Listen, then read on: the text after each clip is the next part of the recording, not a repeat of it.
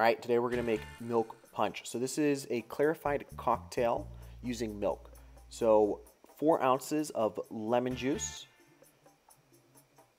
two ounces of honey syrup. So this is a one-to-one ratio of water to honey. Two ounces of orgeat. You can find that recipe under Tiki Drinks. So what's important to keep in mind is that this needs to be stored while it's being clarified in the fridge. If not, you're going to get spoiled milk. Eight ounces of gin. Now, if you don't like gin, um, this one will work very well with a dark rum, bourbon, or rye. Um, and then you're going to add in another eight ounces of whole milk. This is going to curdle, and what's going to happen is you're going to clarify the drink.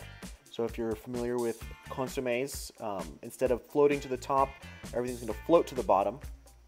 And you're going to have a 100% clear cocktail that is stable for months. So you can see here adding in the milk and it instantly begins to curdle. So we're going to let this sit for at least 24 hours up to three days. The longer it sits, the more complex it gets and uh, it's absolutely delicious. I like to get let mine sit for about 72 hours. So here, this is after 24 hours, um, just to show you what it looks like. And you can see that it's completely separated. On the top is the clear cocktail itself. Do keep in mind that when you are making this recipe, that if you decide to add a little less sugar, these drinks, because of the milk added, can become um, a little tart and you might lose that sweetness or the flavor of the spirit. And we're just going to strain this through a coffee filter. Um, and we're not going to push it. We're just going to let it kind of strain with gravity. Just pour it in slowly. And we're going to let it sit as long as it takes. It can take up to two to six hours. Just kind of depends on the coffee filter. If you need to change out the coffee filter, change it out. But we're not going to play around with it. We're going to kind of just let it go and you can see almost immediately the cocktail coming out is completely clear. So we're gonna let this go, and if you need to strain it again, go ahead and do it again so you get a perfectly clear cocktail.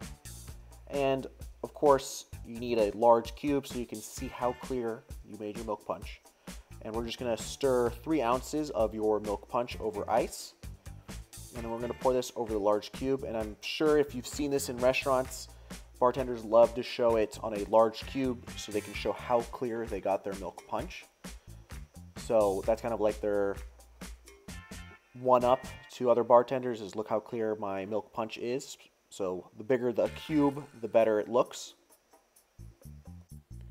And feel free to play around with this if you want to add a different sweetening agent or a different spirit.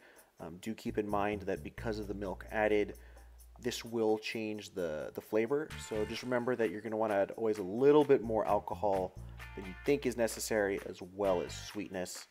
Um, please enjoy and if you enjoyed the video, go ahead and give it a like and please subscribe and uh, go make some milk punch.